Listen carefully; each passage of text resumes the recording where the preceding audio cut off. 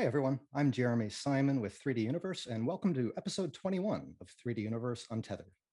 In this bi weekly live stream series, we get to hear from people across varying industries about the great things they're doing with digital fabrication. As always, you can visit 3duniverseuntethered.com to see all of our upcoming episodes and access recordings of our previous episodes. You can also get 3D Universe Untethered as a podcast through any of the major podcast platforms.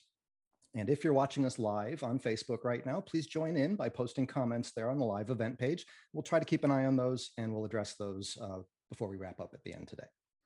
So in today's episode, we're going to be taking a look at desktop vacuum forming and all of the wonderful kinds of projects that you can do with this kind of machine.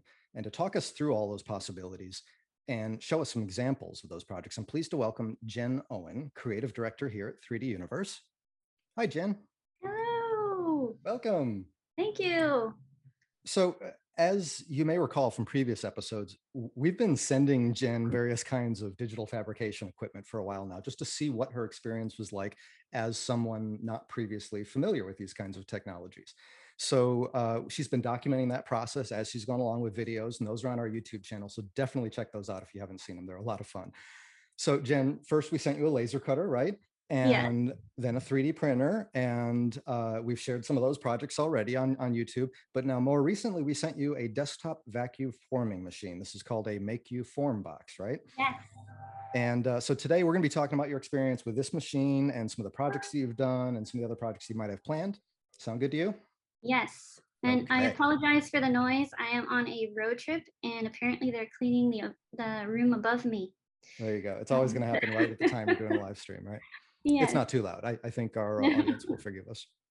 So I think we should probably start off with just a quick overview of what this is that we're talking about, how this machine works, how you use it, some of the things that you can do with it. Um, and I'm going to kind of walk us through that overview, and then I'm going to kind of turn things to you to walk us through some of the projects that you've done. And I will be playing some short video clips throughout the session today, and we'll be we'll just be kind of talking uh, over as those play. If you are watching, or uh, sorry, if you are listening on our podcast uh, for this session, we'll do our best to kind of describe what's going on in those videos. But uh, we uh, we're going to start with one here just to give you a quick overview of how this Mayku FormBox works. So I'm going to go ahead and share screen here.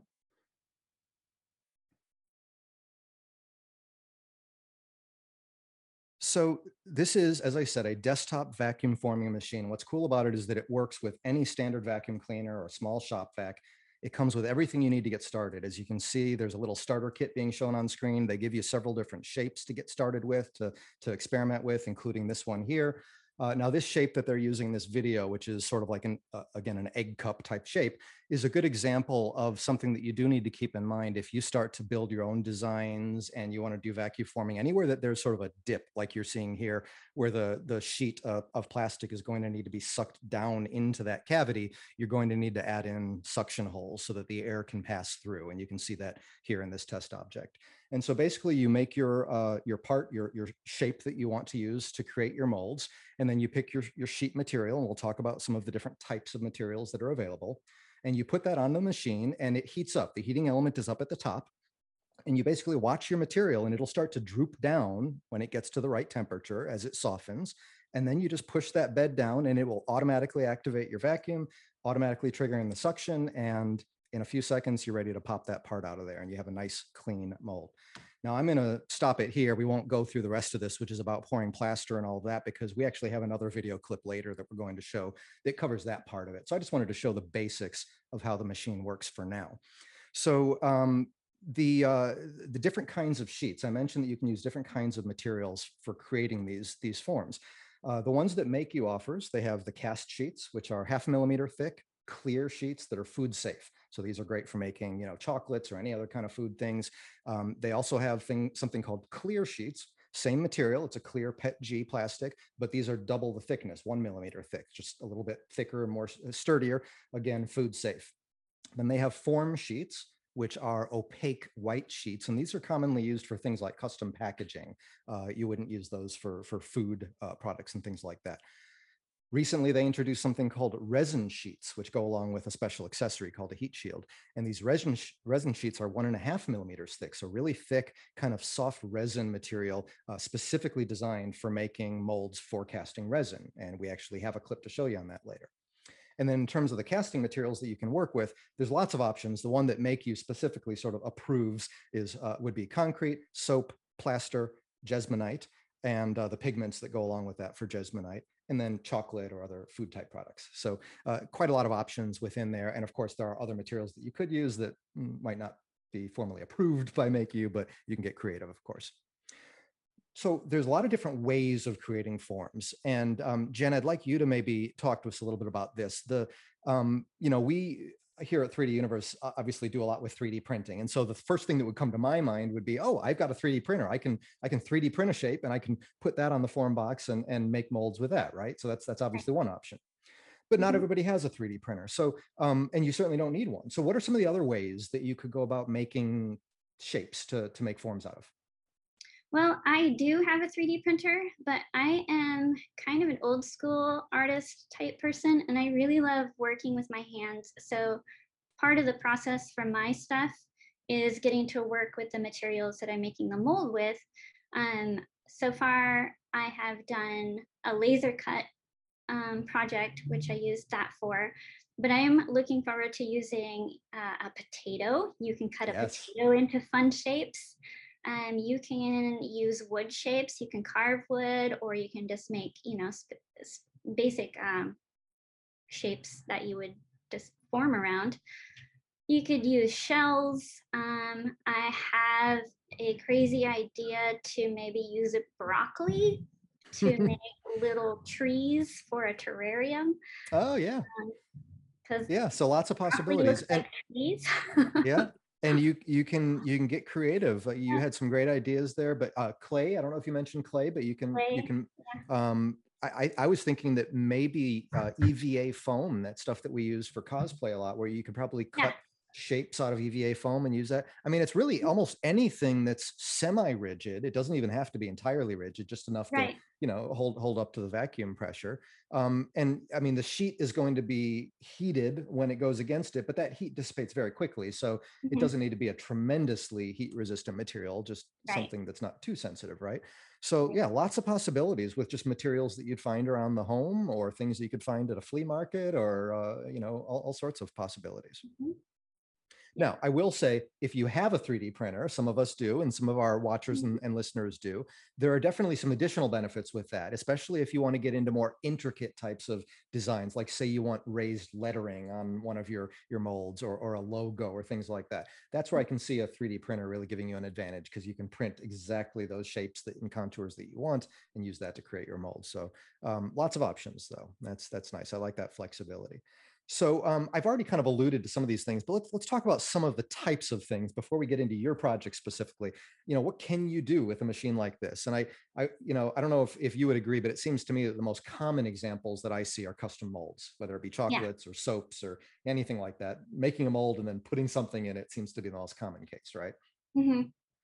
And then yeah. uh, another cool use case that I don't know that you've messed around with yet, but one that I find uh, particularly interesting is using, again, in combination with a 3D printer, you can think of this machine as a way of multiplying your 3D prints much more rapidly than you can using the printer. So you could print something and then use the form box to make essentially copies of that, making molds and then, right. you know, cast it in, in a matter of seconds. You can create uh, cast copies of that 3D print much faster than you could make more 3D printed copies of it. So that's another possible use. Um, and then uh, hands-on learning, I think, is another great opportunity. Wouldn't you say of, of, bringing this kind of machine into the classroom or a makerspace? Mm. Um, what do you think about opportunities when it comes to learning, uh, thinking about kids and getting their hands on on a machine like this? I think for for kids, this is an awesome machine. I, you know, first you sent me the laser cutter, which was terrifying because I had never used any kind of um, technology like that before. And then came the 3D printer, and that was a little less terrifying. Uh, you couldn't really burn the house. I mean, you can burn the house down, but not quite like you can. Not likely. but the the Mayku, it was just I don't know, it was just so easy. You just put the sheet in there, you pop it up, you put your mold, your form in, and you pull it down, and voila, Three minutes later, you have a mold for something. And it was really easy to learn. Um, I think it would be a great thing for classrooms where, you know, with 3D printing, if you have if you have 20 students and they all want to make something, if they want to 3D print it, that's going to take a long time because you know each That's 3D right. print could be five to 10 to 15 hours per student. Where if you gave them, you know, a project that they were supposed to do, and you know, here's some clay, make your form out of this, and then we can multiply it rapidly, or each student would be able to make something quickly. Um, Absolutely. I can also see where maybe there would be a collaborative design where they work mhm, together to create a model that gets 3D printed, and then they could use the form box to make copies of that 3D print so that everybody gets Right. one. So Yeah. yeah, lots of nice possibilities in the classroom. So that's definitely a good, I, I think one good example of where this could be put to use would be classrooms and maker spaces. mhm, But I was thinking about other other places where I'm seeing this this machine become popular. Small businesses, right? I mean, I'm seeing people all over the place, especially recently. Um, Mayku has some of these folks featured on their website where you know during the recent pandemic and the lockdown people were kind of stuck at home. People would Yeah. use you know you can use a machine like this to start up an etsy business start making custom you know uh, things for around the home or whatever it is that you you want to do. You can you know bring your ideas to life very quickly with with a, a machine like this. So i think of of individuals wanting to start a small business um, or existing businesses. You know if you want to create maybe custom packaging for your products or it can help with uh, part of the prototyping process of evaluating different design ideas uh, before you go to full production on them. So lots of possibilities with a machine like this. And so having kind of laid the, the, the groundwork there and sort of uh, teased our audience a bit with what you can do let's get into some of the the specific projects that, that you've done. And i, I want to start us up with a with a video here that i'm going to ask you to kind of narrate for us jen. This is uh, a project that you did where you made your own custom soap and i'm going to pull that up now okay here we go and i'll let you kind of tell us what's going on here. So I started a travel blog um, on YouTube called The Traveling Dork, and I wanted to make soap with my own logo. So we used the 3D printer and we had to punch holes in the design so that the vacuum could suck the air through um, to get the little intricate details of my logo. Um, it took us a couple tries because the 3D printer kept filling it in. And then I just popped the sheet on there got it ready. It was uh, really easy. And then I put my mold, my, uh, then I put my forms on there, waited the appropriate amount of time. You have to wait for it to kind of bow. You can see it in the video, Mhm. it's bowing there. And then the vacuum sucked it down. And I Hmm, ended up with, nice yeah that came out pretty well uh, yeah, some molds for my soap. yeah so we've got a nice logo there of a Yeah. van with somebody And dancing on top of it Yeah, and I hadn't um I had never made soap before, so I kind of just went with the easy approach and got the stuff you Mhm. just melt in the microwave, Yeah. um, swirl it around. It took me a few tries because I wasn't fast enough stirring, and then it would harden. So I had to. mm, And what uh, are these dot? Are you using food coloring here, or what is that? Um, they're specifically for soap. Um, Oh, okay. I think if you, I think if you use food coloring, you'll end up dyed like an Easter egg if you're in the shower. So you don't Oh, yeah, good want point. to do that. Good point. Okay, and so Uh, now you're mixing different so, colors yes. Yeah. So you can see it's kind of still, it's a little chunky there. I- it- this is my first try, so please forgive Yeah. me. No, but what, so so what you what we're showing in the video is just different colors being layered in together in the in the mold, and now she's Yeah. popping them out. And then it, it just popped right out real easy. Well, look at that. And then I have my soap and it smells really Very nice. good. Smells good, looks great. Custom Yeah. soaps. I love it. I love it.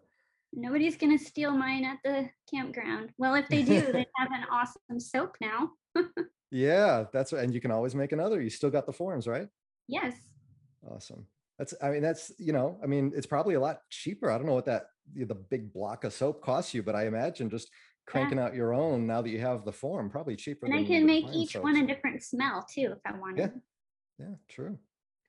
All right, well, that's cool. So um, tell me about this, uh, other than what we saw in the video, what was this like? Was this, first of all, were the soaps, was that the first project that you did with the form yeah that was that was the first project i did and um it was a lot more complicated than it needed to be because i didn't really think through the fact that the soap would harden so fast so i had four different colors and i melted them all at once in a big thing and then poured them into little individual things and then i added the color and stirred and by the time i got to putting the color in the last one the first one had hardened so i was like doing this going back and forth to the microwave.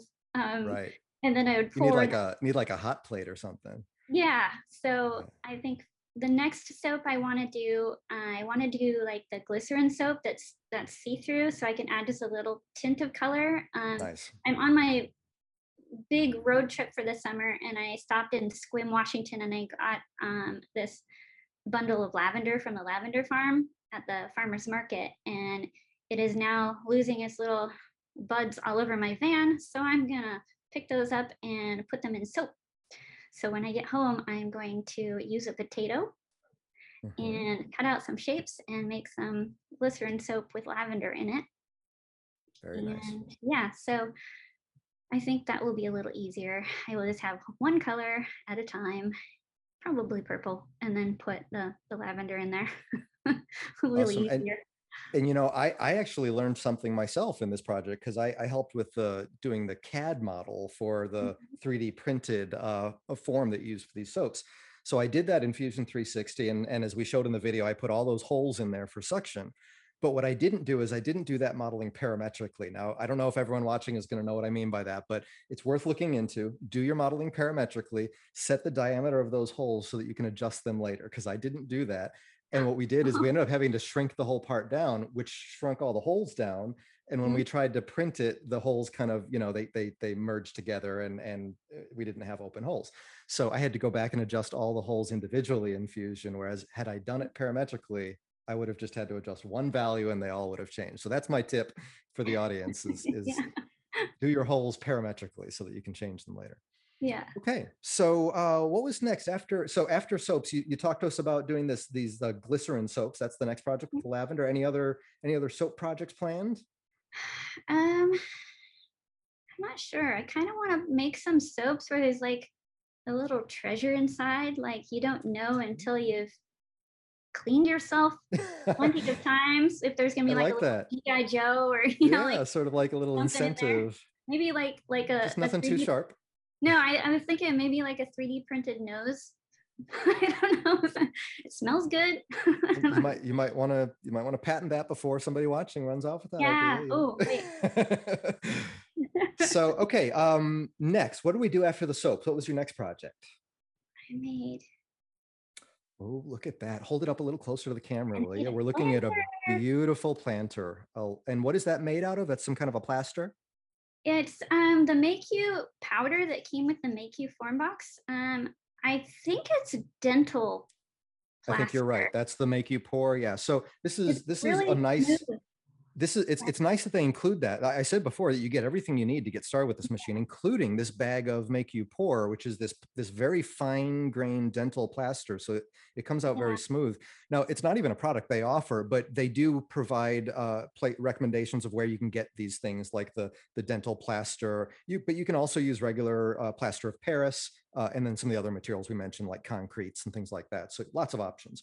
So Right. let's go ahead and play a video and have you talk us through this project. Let me get this next one up here.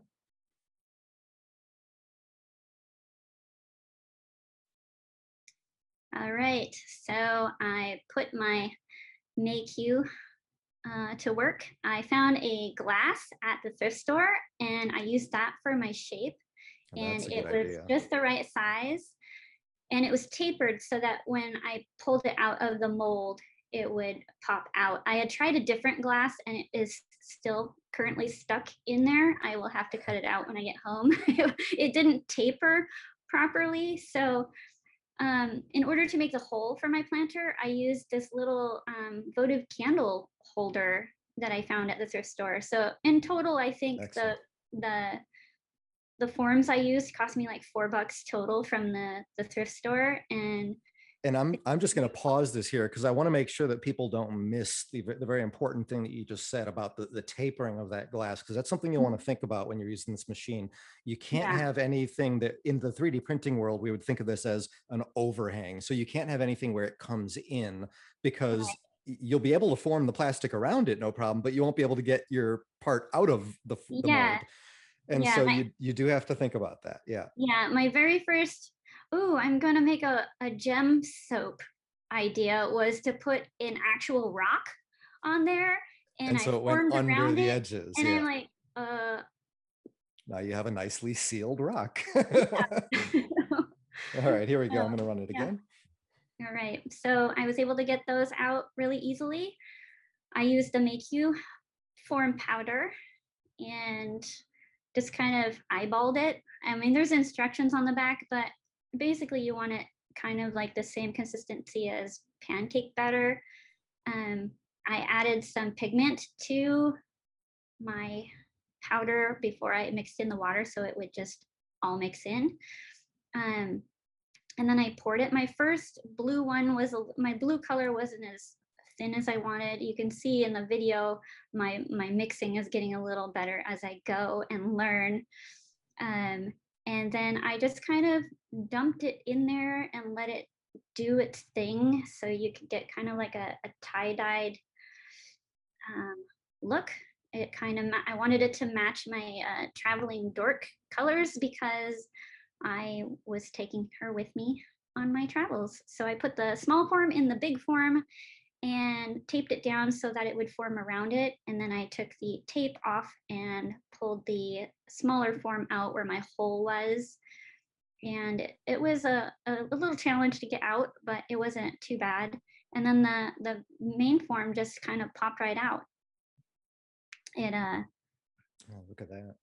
yeah, and it was super smooth Now, and y- if had you wanted to, you could have then sanded that top side down so it was flat. But I noticed that you yeah, liked it. It was it is. You like you like you yeah, left it as I, is, right? yeah, I did. It's got Yeah. like, like a Gives it nice a little little, extra character. Yeah. well, and it's also holding the dirt in. Yeah. Okay. That makes So, sense. and, and when I, when I bit of a water it, the, the water doesn't come out the top. Nice. Nice. So this lives in my van now. Yeah. And so you just that's right off the machine. You didn't have to do anything else to finish that. No, It's that that was it.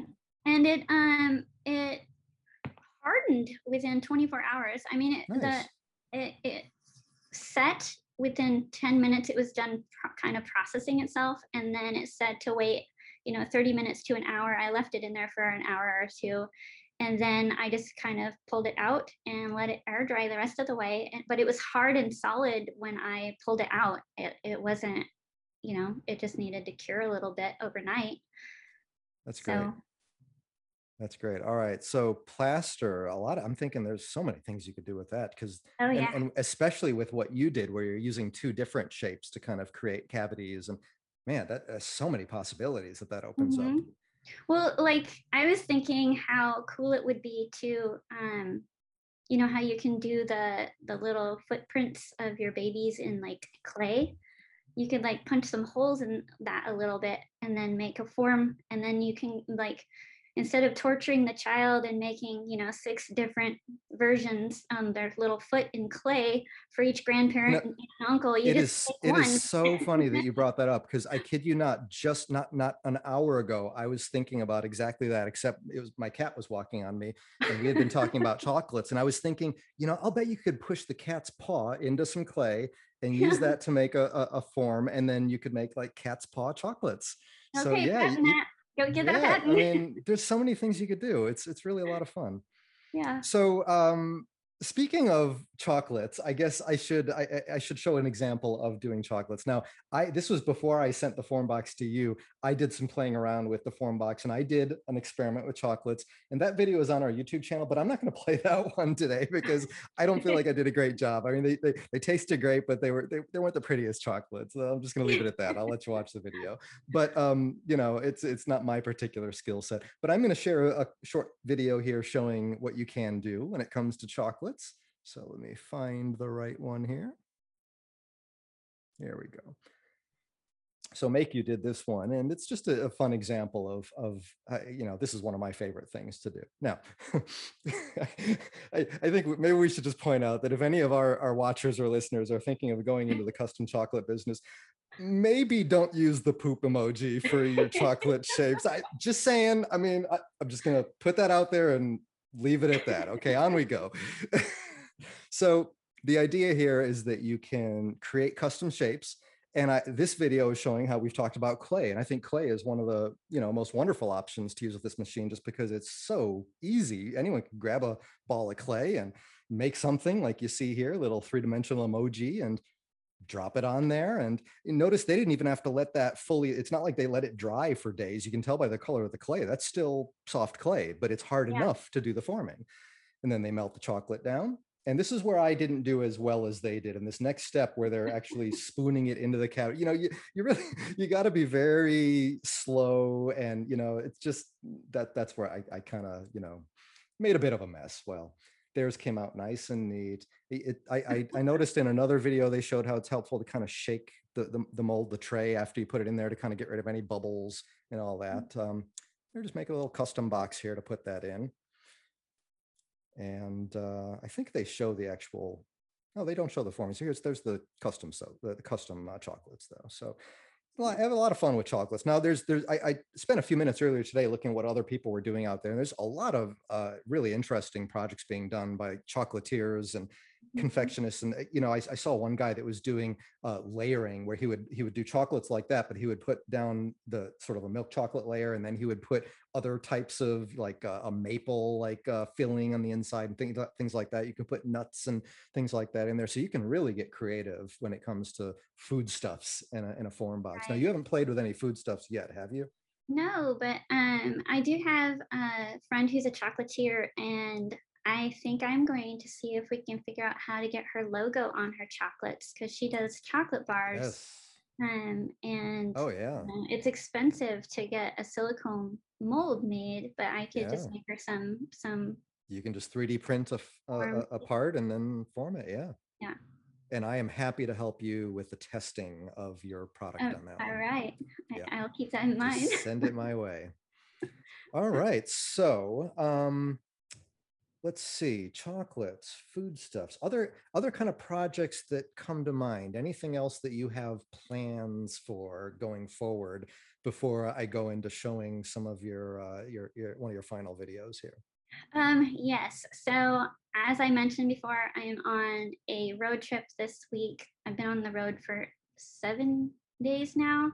Um, sleeping in my van and stopping at different beaches along the way. And I collect rocks and I might have might have gotten a little excited and collected a whole bunch of rocks. Nice. Um, needless to say, this makes your fanny pack really heavy and pulls your pants down. But I um I'm decorating my van and I have little bits of color. That's a lie. I have a lot of color in my van. It's basically like somebody exploded Skittles all over inside on my bed, all over the walls, whatever. But I have a project that I was thinking about on the four hours between Forks and Cape Disappointment.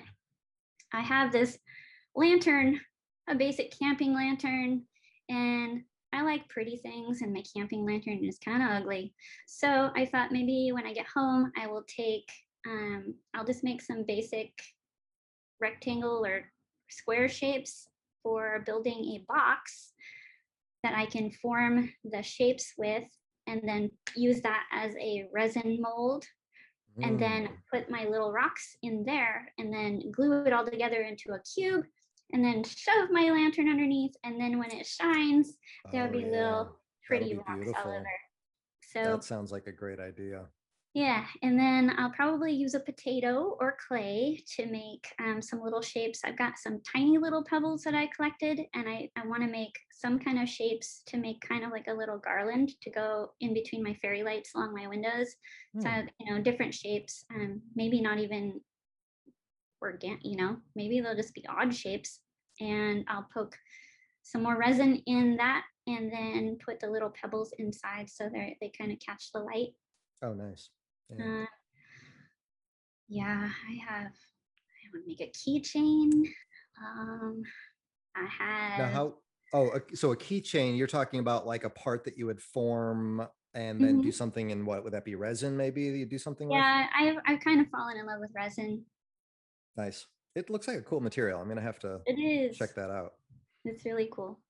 And so the, oh, and you mentioned uh, uh, in an earlier discussion, you said that you were gonna work on a terrarium. Now, how would you do a terrarium with the form box? Um, Mayku has a couple of really good videos, Oh, But- okay. instead of so um, I would probably make the form for the bottom. I would probably just use this form again, and then Mhm. you can make a another shape um, Right. Okay. on top, and then then you don't use that. I mean, you just cut out around because the sheets are easy to, to cut with an exacto knife, and then Yeah. you can put because I kept the lip on this. Um, so if I did that again, it would just fit right over there, and then it wouldn't slide around, and then I could just um, hot glue it down probably. But um, I want to try my hand at that. I tend to kill plants, so I'm hoping this one stays alive. So far, so good. So far, All right, so many possibilities. That's what I love about this machine is that just Mhm. the flexibility of what it offers. And you don't really Yeah. don't need anything special. Like I said at the beginning, it works with any standard vacuum cleaner or shop vac. Most often I see people using a small shop vac with it and it just plugs right in. It, it- the power for your vacuum actually plugs into the back of the FormBox and that's how it's able to turn it on automatically when you lower it down. And um, just really, like you said, easy to use, simple to get Mhm. started, but so many possibilities and uh, and affordable too, which yeah, um, you I I think that um, with COVID and so many, especially moms having to stay home with their kids because of school not being in session and that you know they give up their careers to go back to staying home with their kids and then they you know had to try to figure out how to make money so right. i think something like this you know it's it's a not that expensive for this machine at all um i've seen a big I- I'll- booth of I'll- etsy I'll just interject for those who might not be curious, since we mentioned it's six ninety nine currently. So that's the price point, six hundred ninety nine dollars for a brand new Mayku FormBox with everything that you need to get started. Um, and Yeah. of course, you can find those along with everything else we offer at shop3duniverse.com. Yeah, but I, you know, you can make jewelry, you can make soaps. Um, there's just there's a a big market for all of that, and Yep. it's I think it's opened up a way for for those um, folks who lost their jobs during COVID to That's right. make some income. And if you That's you know you do really well on Etsy and you're you're busting out a bunch of um, jewelry, you're making back your money on what you spent on the machine. And Absolutely. if you have a mold, you don't have to, you know, hand carve things repeatedly and just, you know, or whatever. That's you right. And you know, the other thing that I love about this, which ties into uh, the, I think the whole of digital fabrication, including 3D printing, something that we often see is that um, digital fabrication is used earlier on in the stage of product development and sort of ramping up uh, production. So in this case, to use this as an example, you talk about opening an Etsy business. Well, if somebody's really does well and it really takes off, you know, knock on wood, you would end up, you know, hiring employees and then you'd you would shift to more, you know, higher end production equipment or maybe outsourcing production. But something like this is a stepping stone. It lets anyone get started very cost effectively. It lets you prove out your idea, see if it's actually working, see if it's actually in demand, that you can make money off of it, get something going that's profitable, and use that to fund then scaling the business up. So we see the same thing with 3D printing. Businesses will use 3D printers to maybe produce small quantities of a new part until you know volume gets high enough where they need to shift to injection molding same idea here it's a great way to sort of slowly ramp things up as you're exploring a, a new product possibility a new business Well, even just just making packaging to ship your stuff once you've Sure. made it.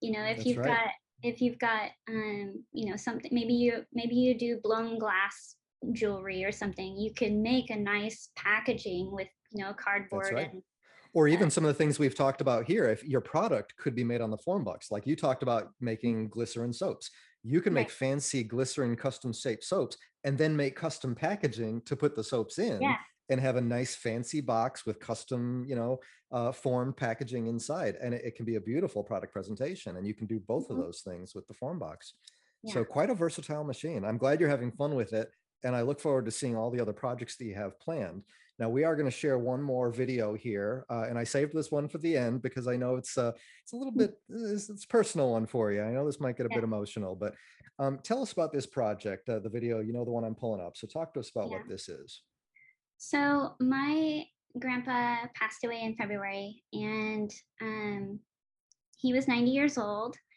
and we had um, he had struggled with cancer and all kinds of heart failure and diabetes, and had a really hard last few years of his life. But in his youth, and as I was growing up, he was a fisherman. Him and my grandma spent many a summer with us out camping and fishing. That was his thing. He loved to fish. He loved fly fishing. He loved getting out there in his waders, and he was a short man, so he couldn't go in too far. um, but most of my childhood memories are of fishing with grandpa or at the, the beach. Um, so when he passed away, we had all of these flies he had tied, and he and my grandma produced seven children, tw- you know, 10 something grandkids, 23 great grandkids, and trying to find something that we could give to each person who loved him um, without fighting over it. Um, I decided I was going to make a project and I cut out some shapes on the laser cutter in the shapes of hearts. And I glue, I had to glue a couple of them together to get the depth that I needed to be able to put the, the flies in. And then I just let them dry, uh, rubber banded them together so that they wouldn't fall apart while they were drying. And then I got, I got my resin sheets from Mayku and I had to get the heat shield so that it would work properly. So I put the resin onto the Mayku and popped that up into up where the heat is with the heat shield. I had never used the heat shield before, so that was kind of a learning experience. Hmm. Um, I was able to make four heart shapes per sheet for my mold, which was nice because um, my project is going to require a lot of them. um, so I then pulled the resin sheets down once they got warm enough and waited for my molds to cool. Uh, the resin sheets uh, take a little longer to warm up, so you want, and you definitely want to leave them down clamped until they're fully um, cooled. Otherwise, it warps as it dries or as it cools.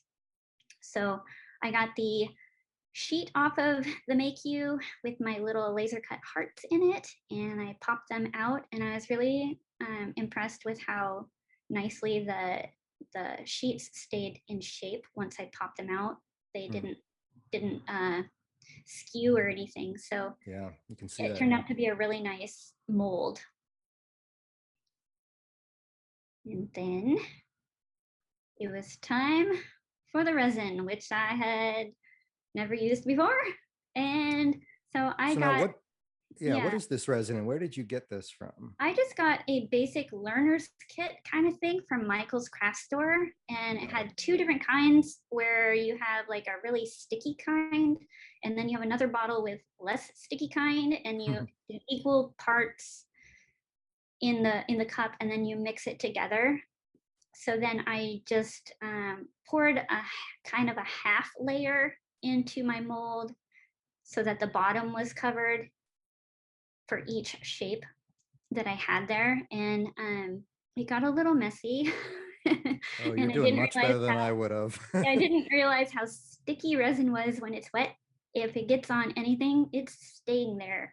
Ah, good. But um, and then I just put one little fly in each heart shape, and kind of tried to pick a variety of colors so that um, for my project, which I will reveal in a moment, Hmm. um, there will be a, a, variety of different kinds that he had made. And I was shocked at how well he did at his age, not being able to see Really, really, those are those are beautiful. and um, how much they actually look like bugs. It was really awesome. But I, um, you know, I put them in the half layer and then I covered them each with another, with a top layer of resin so that I fully encased them because the last thing I want is to hand out little fish hook heart shapes to my cousins and have them stab themselves. So Right. um, then I just had to to let it dry for a while, and um, I think it, uh, yeah, it just they turned out. I popped them out. I um, found some driftwood. I spent a lot of time as a child on the beach with my grandpa. So I found driftwood and I beaded them up and I hung them on a string. I was able to drill a hole in each of the forms through, with a Dremel tool to be able to to string some fishing line up through there and then bead some beads on that. And then I just put them on the driftwood and hung them up. And I have is mine. I so made one, the one in the video I had, I made for my grandma. I wanted her to have the first one. Um, and then I made my own. Oh, very nice. Yeah. Very nice. So this is Um, mine. That's beautiful. Okay, I'm gonna stop the video here so I can see yours full screen. Yeah. So this is Oh, mine and Very nice. you can kind of see the, Oh, yeah. So use different, uh, oh, you use two in that one. Nice. yeah, I was trying to make a heart shape inside of a heart shape. Oh, yeah. Yeah, I see it. And then um, you can kind of see that. And then I. I chose beads that are kind of river rock like. That's what I was thinking. I was gonna ask if Yeah. those weren't rocks. Yeah. Yeah. So I used fishing line, which he obviously used for fishing. Uh-huh. Piece of driftwood, and then this twine I used um, actually came from his house. Uh, he used to use it in his garden to Oh, line his rows. So this travels with me in my van, and. I can hear it clanking around in there when I'm going around corners too fast. Sorry, Grandma, I don't go around corners too fast. I am a good driver. Right. Well, that is really, really special. Thank you for sharing that with us. That's that's really Yeah. a, a very sweet project. And I just I'm I'm glad you did share it though, because it just it just goes to show how personalized you really can make things. I mean, you, you Yeah, you're not going to find something like that in a store. Obviously, that's something that you could only make yourself. So Right. that's that's really wonderful. you know, I just had a thought for for those moms like me who saved every single baby tooth you ever had your kids lose. You could Yeah, encase them in resin, and then you won't lose them in the bottom of your jewelry box. that's true. That's true. Make them into a necklace or something. Or Yeah. Creepy. anyway, this has been a lot of fun. Jen, thank you so much for talking to us about these projects. And I'm going to invite our audience to stay tuned to our YouTube channel because there are some great videos out there now, but there's lots more to come. So definitely stay tuned there. There's lots of great uh, content there now and, uh, and more coming. Uh, we are actually at the end of season two here now for 3D Universe Untethered. So this that's very exciting. And we're going to be taking a little bit of a break here as we get all of our uh, uh, next uh, season of episodes together and ready for you. So stay tuned. You can always visit 3duniverseuntethered.com. We will always post the latest news there about the next episodes when we have those lined up, as well as the recordings of all of our current episodes. And for any of the uh, the Mayku FormBox or any of the associated sheets, anything we looked at today, head over to shop3duniverse.com. You can find them there with a lot more information, more videos, and things like that. And reach out to us if we can help in any way. If you have more questions, we're we're here to talk to you and and help you kind of figure out how to get these things going in your in your maker space or classroom or business or whatever it might be. Yeah. So um, again, Jen, thank you so much. This has been a lot of fun. Yeah, and if there's anybody who wants me to try something out, um, you know, if there's a a project that you're thinking of and you don't want to waste your money on trying to make a form with it, my boss pays me to do this stuff. So if you have any projects you want to try or or anything in you're questioning, um, go ahead and leave us comments in the comment section and I'll see what I can do and make a video of it and then share it. And then I will be your prototyper. I like it. That sounds like fun. I hope people will take you up on that. But either way, we will keep those uh, videos coming. We'll keep sharing our projects. So uh, stay tuned. And we look forward to being back with you uh, for season three of 3D Universe Untethered in the near future. Yes. All right. Thanks for watching, everyone. Thank you, Jen. We'll see you all next you. time. All right. Bye bye.